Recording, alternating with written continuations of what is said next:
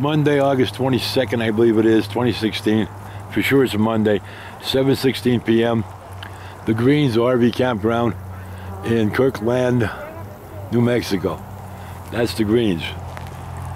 That's where the camp, that's where the campground is. Turn around, Patsy. I want to get a picture of you with, with the grapes. The owner, Ed, gave Patsy some grapes. Turn, Patsy, with your grapes. That girl that was with Carly when they were having dinner.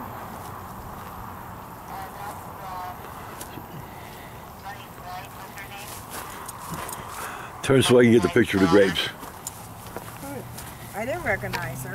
You sure? Got grapes on the Carly. part of the bumper there. Got grapes in her hand. Car- Ed, the guy who owns this place. His wife Chandra bought up a Yeah, uh, six pack of bottle of beer before. Mixed beer. Two of them were Sam Adams. We haven't had them yet. Two were Guinness, something or other, heavy, heavy hops. Didn't finish it. This golf course the other day when we got here, and the day after, we were looking at antelope on the golf course, grazing. Got video and pictures of it. Patsy's on the phone with Teresa. That flame you see way out there, that's a helium factory.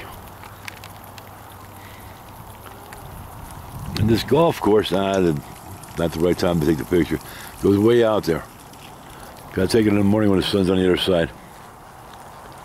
Yeah. Uh, but you got that lady fired today about stealing jewelry and stuff.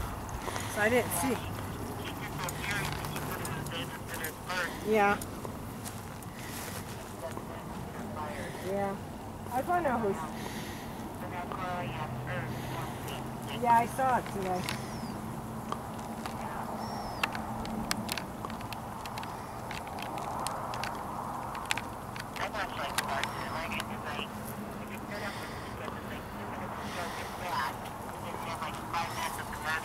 Mm. I get tired of sitting through commercials all the time. I'm taking pictures while you guys are talking. Video. Uh -huh.